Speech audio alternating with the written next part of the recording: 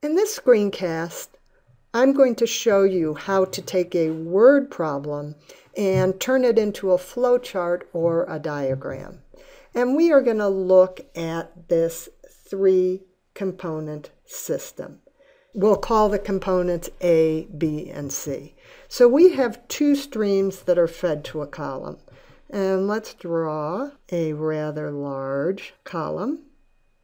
And we have two streams that are fed to it. One stream contains a mole fraction, because at the end it says all fractions are mole fractions, of 0.35a.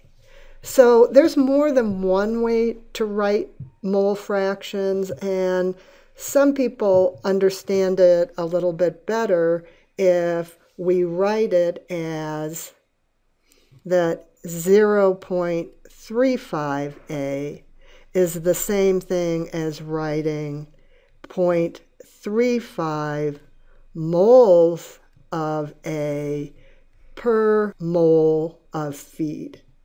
If we have 0.35A and the rest is B, then in order for it to be 100%, this needs to be 0.65B.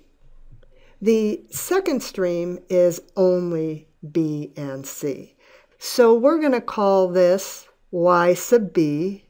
And one of the things that I do is I put the number of the stream after the component because we will have mole fractions in many of the streams and this prevents us from mixing up one of the mole fractions in one stream with the one in the other.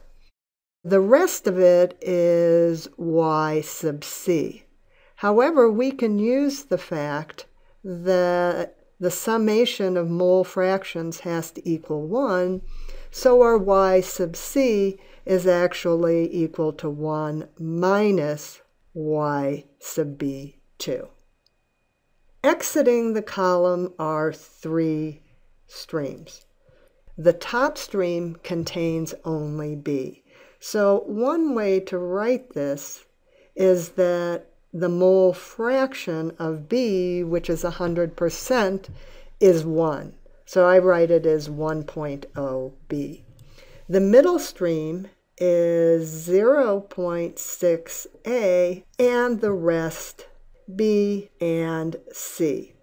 But again, we can use the fact that the summation of all the mole fractions has to equal 1 to write y sub c4 in terms of y sub b4. So this is going to equal 1 minus our 0.6, which is our mole fraction of A, minus yb4.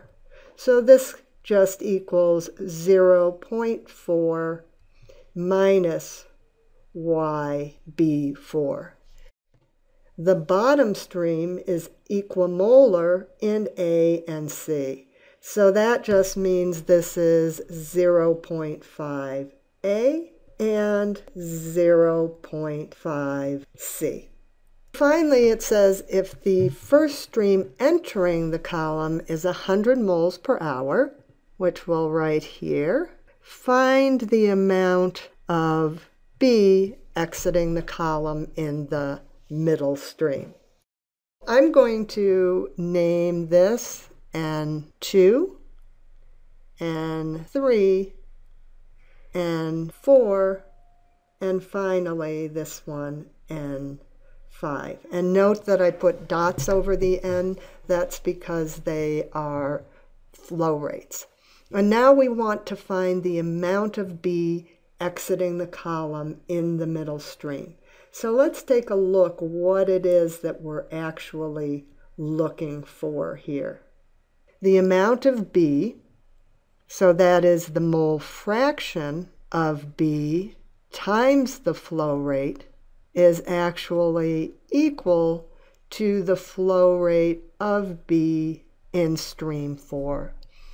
instead of writing overall flow rates, we can write specific component flow rates like I did right here. So for example, we could write an A4 or an C4, realizing that the summation of those three component streams are going to equal the overall flow rate.